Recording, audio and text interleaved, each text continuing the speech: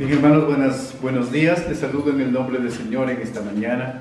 A todos los que se han conectado y los que se están conectando en este día para poder alabar y bendecir el nombre del Señor. Justamente eh, recordaba que si Dios es por nosotros, ¿quién contra nosotros? Dice la Escritura. Y ese mismo Dios de amor y de gracia, pues nos acompaña cada día y nos permite conocerlo. Y lo conocemos pues a través de su palabra. Y en esta mañana vamos a meditar en ella. Y puedes tú agenciarte donde estás una Biblia, o quizás tienes el app de la Biblia allí también. Pues vamos a buscar en nuestras Biblias eh, eh, Eclesiastes, perdón, el capítulo 1, verso 1 en adelante. Es interesante lo que la Biblia nos recomienda y nos aconseja a través de la vida diaria. Eclesiastés, el capítulo 1, versículo 1 al 11. Yo quisiera darle lectura una vez más, quizás para los que no estuvieron atentos a ella, para que podamos enmarcarnos en lo que vamos a hablar en esta, en esta mañana. Saludos a todos los que están conectándose, hermanos de la iglesia Betel, hermanos también y amigos que también se están conectando el día de hoy. Su hermano Manuel Matos desde Huancayo también está conectado. Un amigo también eh, de la universidad, Marco Merino, Dios te bendiga Marco también nuestros hermanos de la iglesia también. Dios me los bendiga a cada uno de ustedes. Vamos a meditar en la palabra de Dios. Leemos. Dice la experiencia del predicador. El título del capítulo 1 es Todo es vanidad. Dice así, las palabras del predicador, hijo de David, rey de Jerusalén. Vanidad de vanidades, dijo el predicador. Vanidad de vanidades, todo es vanidad. ¿Qué provecho obtiene el hombre de todo el trabajo con que se afana debajo del sol? Generación va y viene, y generación viene, pero la tierra siempre permanece. Sale el sol y se pone el sol, y se apresura a volver al lugar donde se levanta. El viento sopla hacia el sur luego gira hacia el norte, girando sin cesar, de nuevo vuelve el viento a sus giros. Todos los ríos van al mar, pero el mar no se llena. Al lugar donde los ríos vinieron, allí vuelven para correr de nuevo. Todas las cosas son fatigosas, más de lo que el hombre puede expresar. Nunca se sacia el ojo de ver ni el oído de oír. ¿Qué es lo que fue? lo mismo que será. ¿Qué es lo que ha sido hecho? Lo mismo que se hará. Pues nada hay nuevo debajo del sol. ¿Acaso hay algo de que pueda de que se pueda decir, he aquí esto, esto es nuevo? Ya aconteció en los siglos que nos han precedido. No queda memoria de lo que precedió, ni tampoco de lo que ha de suceder. Quedará memoria en los que vengan después. Gracias te damos, amado Dios, en esta mañana, este día domingo, Señor, que nos permite, Señor, reunirnos a través, Señor, de, de esta plataforma, Señor. Oramos, Padre Santo, para que nos guíes y podamos, Señor Jesús, entender lo que le enseñaste y lo que experimentó también Salomón cuando escribió este libro de Eclesiastés, Señor. Te damos gracias en esta mañana por tu presencia y oramos, Señor, para que nos guíes. En el nombre de Jesús. Amén. Muy bien, el título que hemos, el título de esta meditación en, esta, en este momento, les voy a decir, es La vida sin Dios es vacía. La vida sin Dios es vacía. Y vamos a meditar en estos 11 versículos que nos van a dar una gran enseñanza en esta mañana. Y quisiera eh, empezar haciendo algunas preguntas. En primer lugar, ¿quién, ¿quién fue este hombre, Salomón? ¿Quién fue Salomón? ¿Qué características tuvo Salomón? Pues Salomón, la Biblia nos dice que era un rey, en primer lugar. Era un rey, hijo de un rey. En el primer versículo que hemos dado lectura, dice que fue hijo del rey David. Hijo del rey David. Y algo interesante nos muestra las Sagradas Escrituras cuando Salomón iba a recibir el reino en reemplazo de su padre, vio que el pueblo, dice, era muy grande para gobernar.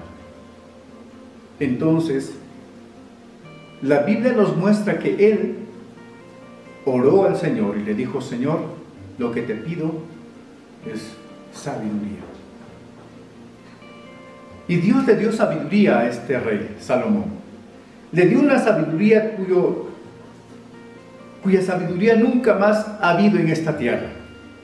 Nadie más ha alcanzado este tipo de sabiduría. Y también le dio riquezas que nunca más fueron tan grandes como los reyes que le antecedieron, los reyes de Israel. Salomón fue un personaje único Cuando Salomón subió al trono, Dios le Salomón le pidió a Dios sabiduría, y eso está en 2 de Crónicas capítulo 1, versos 7 al 12. Y se volvió el hombre más sabio de todo el mundo. Salomón estudió, enseñó, juzgó y escribió. Justamente Eclesiastés es uno de sus escritos narrando sus experiencias como rey pero también como persona. La Biblia dice que muchos líderes, reyes, personas venían a escuchar y a maravillarse de su sabiduría. ¿A quién se dirigía Salomón? Empieza diciendo el versículo 1, el predicador. Pues de este término se deriva y se conoce que Salomón era una persona que le, que le gustaba hablar en una reunión. Y cuanto más tomando la posición de rey, pues él hablaba a todos sus súbditos, pero también al pueblo y a todas las naciones del mundo. Su mensaje ha trascendido y trasciende todas las generaciones para podernos hablar en esta mañana. ¿Qué es lo que experimentó Salomón para que afirmara, para que afirmara que todo es vanidad? ¿Qué es lo que le hizo eh, pensar, pero también decir de manera afirmativa, todo es vanidad? Salomón experimentó todo en la vida. Todo lo que podemos imaginar, él lo experimentó. Y en el capítulo 1 hasta el último capítulo de Eclesiastés, él narra las experiencias que él tuvo en ciencia, en conocimiento, en placeres, en trabajo. Todas esas cosas él lo experimentó. Y llega a una conclusión. Pero no lo vamos a decir esta, esta mañana a la conclusión, pero vamos a ver lo que experimentó él en su vida. Y justamente todo esto nos lleva a analizar y a desarrollar estos 11 versículos en esta mañana. Empezamos por los primeros tres versículos, recordando diciendo palabras del rey o del predicador, hijo de David, rey de Jerusalén. Vanidad de vanidades, dijo el predicador. Vanidad de vanidades, todo es vanidad. ¿Qué provecho obtiene el hombre de todo el trabajo con que se afana debajo del sol? Estos tres versículos nos muestran que Salomón quería que comprendiera quién, el pueblo. Su objetivo era que el pueblo comprendiera que la felicidad y el éxito y la prosperidad pues no duran mucho tiempo. No son duraderos. Y eso quería que el pueblo experimente. El que pone sus esperanzas en el éxito, el que pone sus esperanzas en la prosperidad o en busca de la felicidad, aquí, debajo del sol, es decir, aquí en la tierra, pues se va a desolucionar. Salomón experimentó todo. Trabajo. Trabajó hasta el sol, desde que se nacía hasta que se ponía. Experimentó riquezas.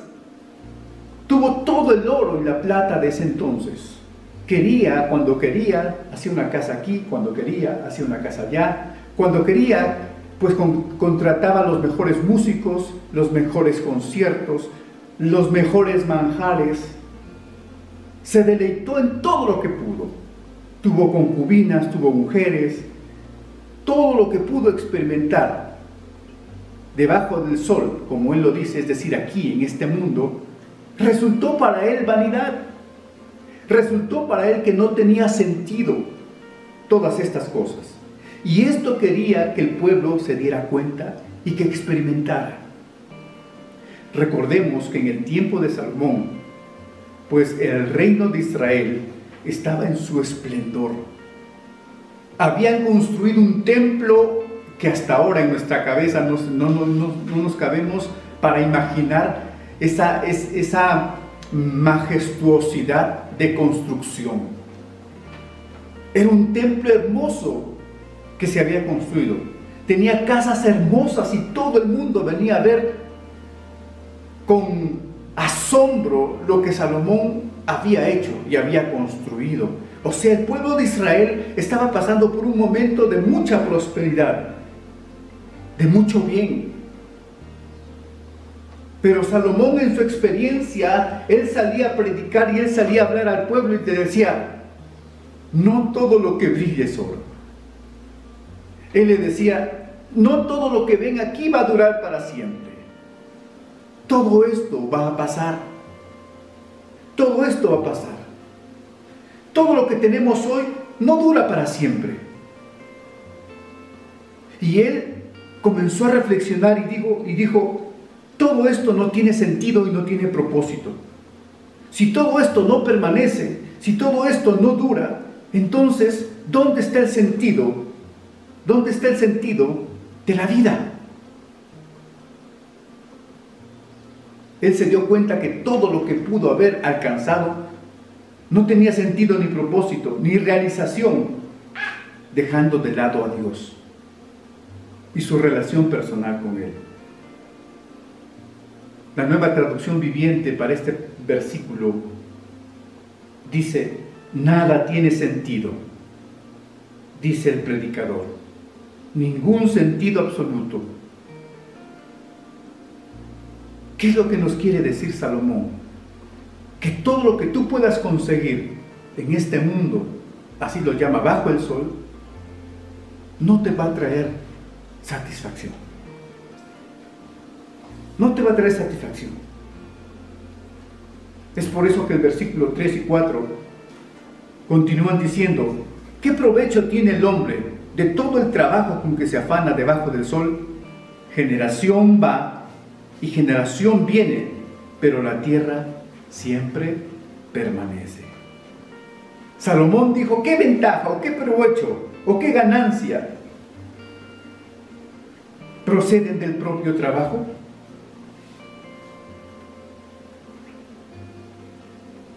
Hay dos pensamientos que Salomón quiso decir en estos dos versículos, 3 y 4.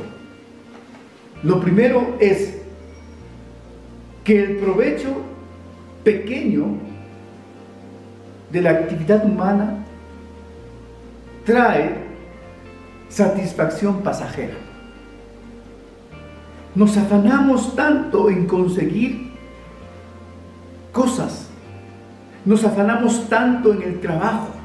Nos, afanamos tanto en, hacer, en querer producir las cosas. Pero eso tampoco tiene duración. Y esto lo hemos visto en este tiempo de pandemia. Todo lo que pensábamos que era seguro, no lo es. Todo lo que pensábamos que no se acabaría, se acabó.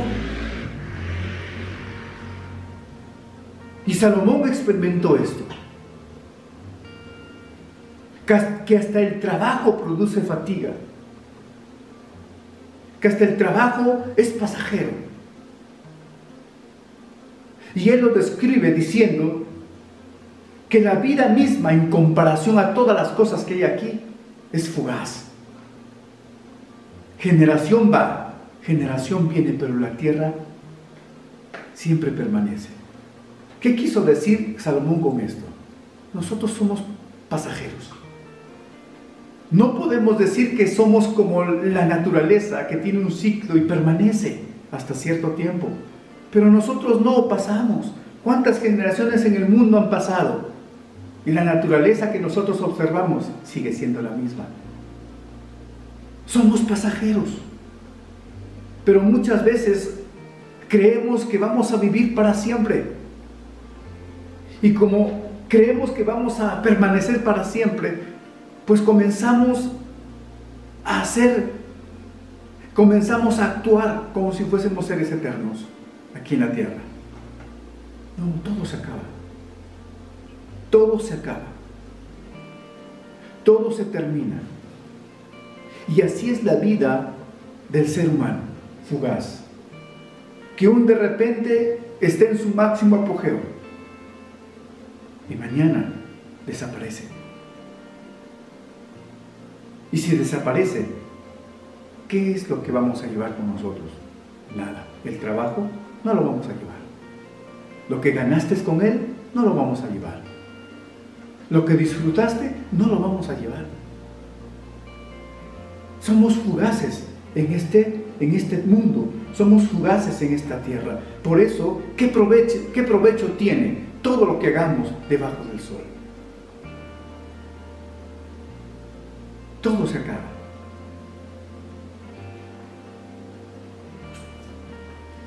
Versos 5 al 7. Sale el sol y se pone el sol, y se apresura a volver al lugar donde se levanta.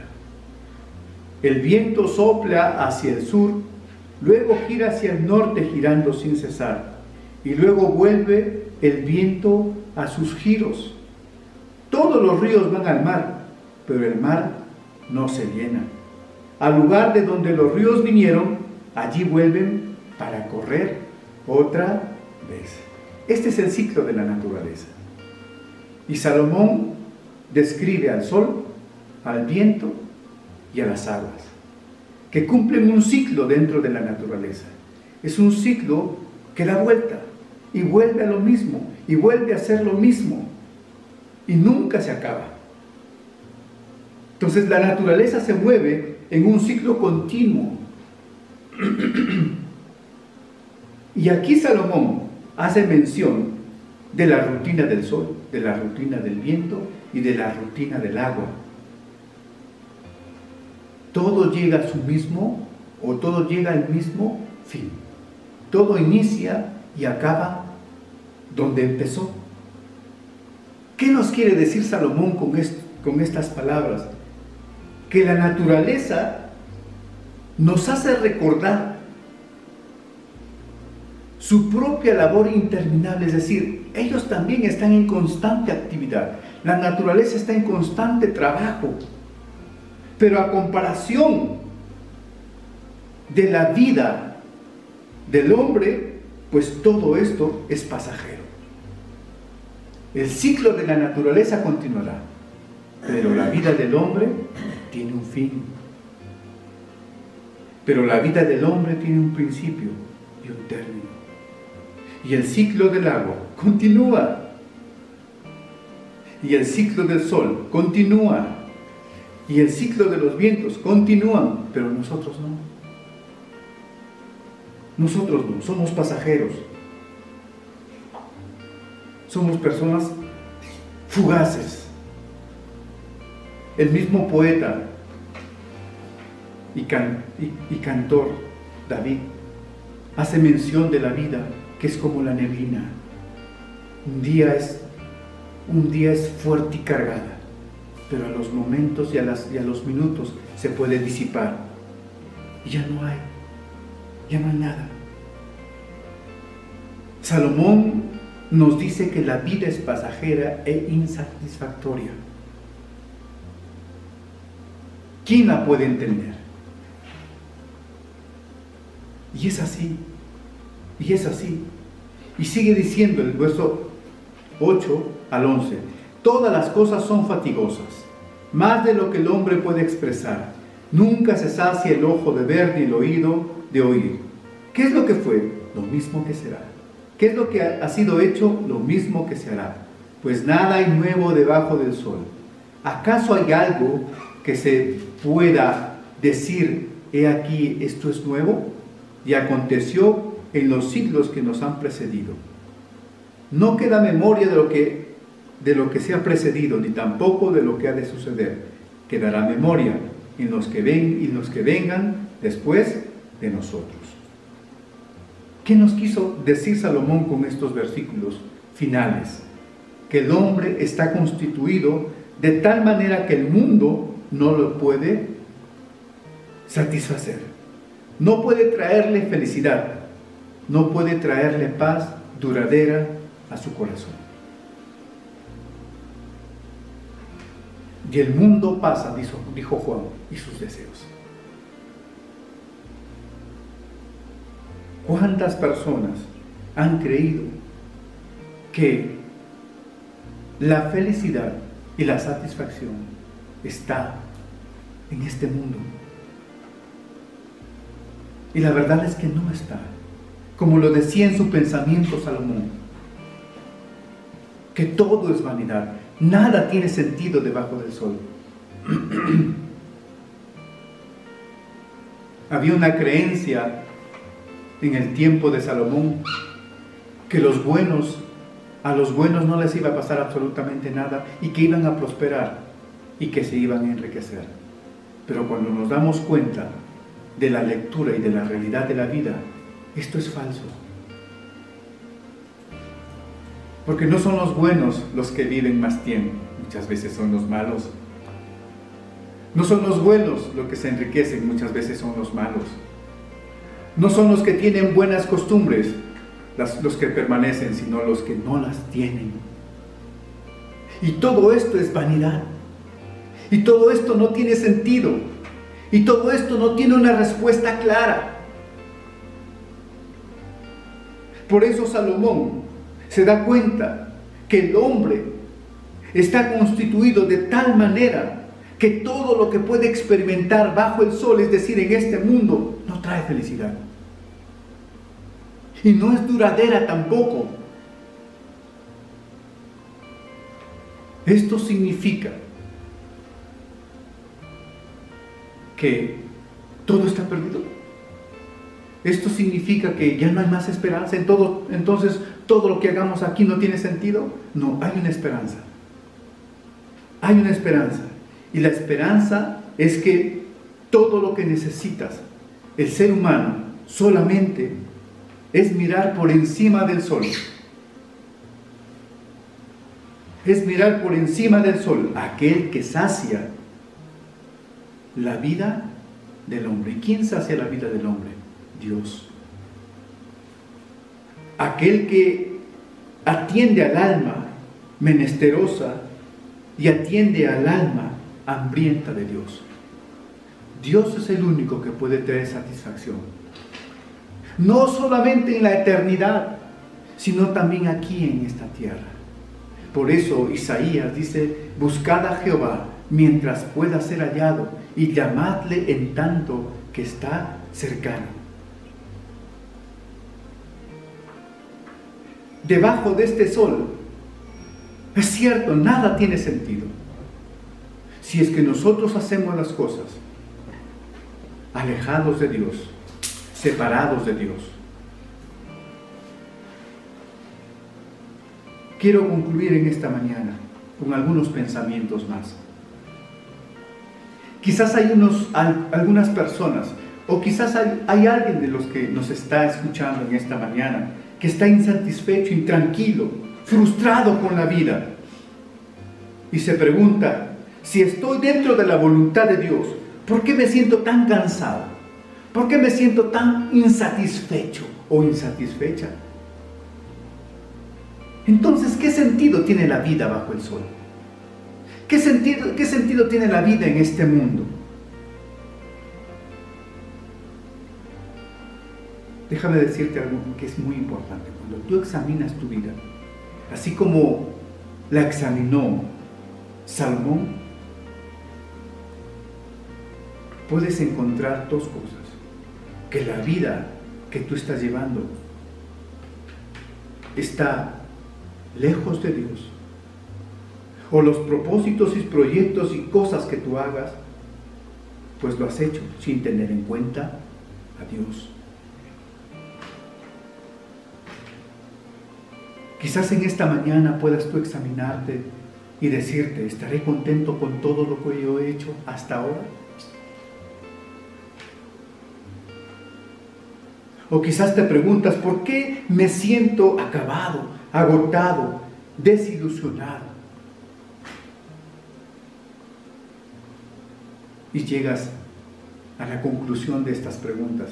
¿Qué será de mí? ¿Qué será de mí? Salomón nos pone a prueba en esta mañana. Pone a prueba nuestra fe y nos desafía a cada uno de nosotros a que encontremos que el verdadero sentido de la vida, el verdadero sentido duradero de la vida está solamente en Dios. Solamente está en Dios. Dios nos da la verdadera satisfacción. Dios nos da la verdadera felicidad. Por tanto, debemos honrar a Dios en todas las cosas que hagamos, que emprendamos ¿Y qué hacemos? ¿Qué es la vida? Dijo el, el, Salomón. ¿Qué sentido tiene la vida separado de Dios? Y déjame decirte en esta mañana que mi propia, mi propia experiencia también resalta que la vida sin Dios no tiene ningún sentido. Que los propósitos y los proyectos en tu vida sin Dios no tienen ningún sentido aún el trabajo y las acciones que tú tengas sin Dios no tienen ningún sentido. El único sentido y propósito que encontraremos debajo de este sol es en el corazón de Dios. Quizás en esta mañana Dios te está dirigiendo para que reconsideres el propósito de tu vida. ¿Te has preguntado alguna vez cuál es el propósito de tu vida? ¿Te has preguntado alguna vez por qué estoy aquí en este mundo? Si tus motivaciones o tus acciones o la dirección de tu vida está fuera de Dios, hoy tú puedes reconsiderar y pensar, es necesario que Dios esté en mi vida. No vas a encontrar mayor satisfacción debajo de este mundo o debajo de este cielo que pueda llenar el corazón y tu corazón, sino solamente abriéndole las puertas de tu corazón al que satisface todo y en todo, que es Dios. Es muy lamentable ver que en este tiempo las familias han decidido vivir sin Dios. La sociedad ha vivido plantear su estilo de vida sin Dios.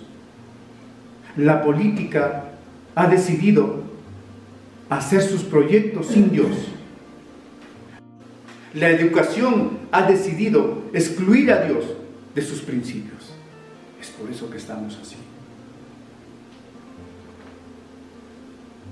Yo te invito en esta mañana a reconsiderar tu proyecto de vida con Dios. Porque sin Dios no hay satisfacción.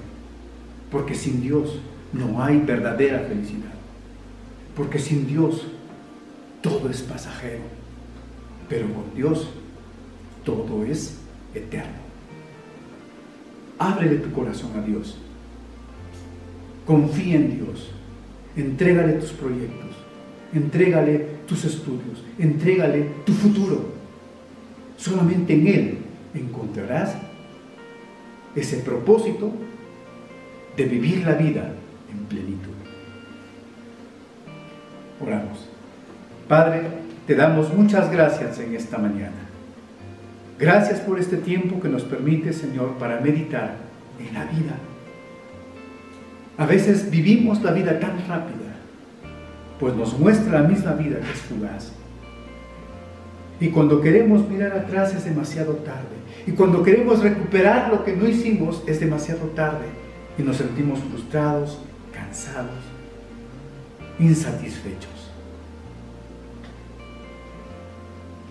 Quizás nos hemos mirado a nosotros mismos y hemos dicho que nosotros somos nuestros propios dioses. Y es la mentira más grande que el mundo y el diablo nos han puesto. Todo termina y todo tiene un, término o un fin en este mundo. Nada es es algo que dura, todo es pasajero. Oramos en esta mañana para que reconsideremos nuestra vida dentro del propósito de Dios. Para que reconsideremos nuestros planes dentro del propósito de Dios. Para que reconsideremos nuestras decisiones dentro del propósito de Dios. Porque sin ti, oh Dios, nuestra vida se vuelve hueca nuestra vida se vuelve vacía, nuestra vida se vuelve vana. Quizás muchos de los que nos están oyendo en esta mañana han perdido el propósito y la sazón de la vida. Y andan frustrados y andan atormentados porque nada los satisface.